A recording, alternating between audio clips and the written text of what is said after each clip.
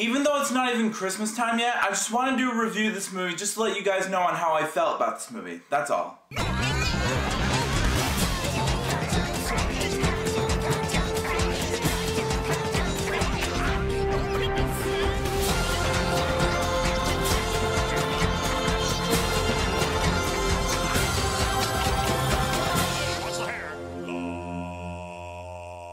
Yo, what's up everybody? Jesus here.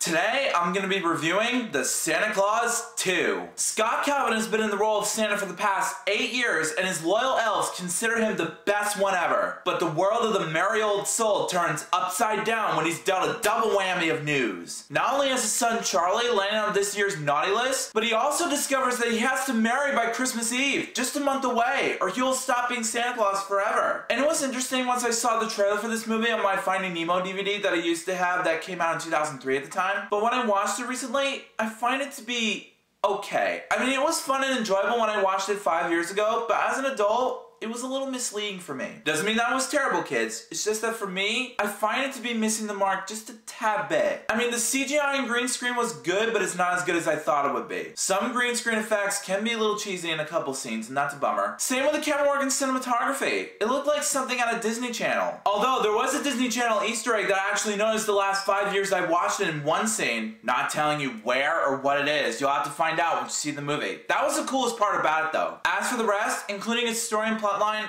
I give it a B+. plus. But what really worked in this movie for me was how it was executed, how the acting was good, whoever's responsible for the casting, and how the character development articulation made the movie so well. It's a sequel to the 1994 Santa Clause movie, but with a new goal to achieve. He has to add a Mrs. Claus to the mix or the de-Santification process will be complete. But other than that, in the end, the Santa Clause 2 was a decent sequel. I mean, the effects were okay, the execution is really good though. It does give you that Christmas feel to it, but still, that doesn't mean that I liked the film, I had some problems within it. So as a result, I rate The Santa Clause 2 Three out of five stars. But if you love this movie to death, then again, I'm proud of you for it. No one can ever fault you for it. But I'm just saying, it didn't really work for me when I recently watched it. That's all. So the Santa Clause 2. Have you seen it? If you haven't, let me know in the comments which Christmas movie or holiday special do you personally enjoy. For me, I enjoy both versions of How the Grinch Stole Christmas and Frosty the Snowman a lot, just saying. But if you have, come back and let me know what you thought about it. Also,